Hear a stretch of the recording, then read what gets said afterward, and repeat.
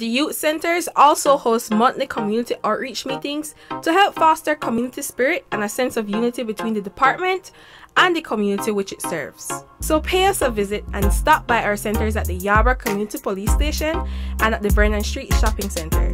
DYS, empowering Belizean youth today so that they can positively impact the development of Belize and the world tomorrow.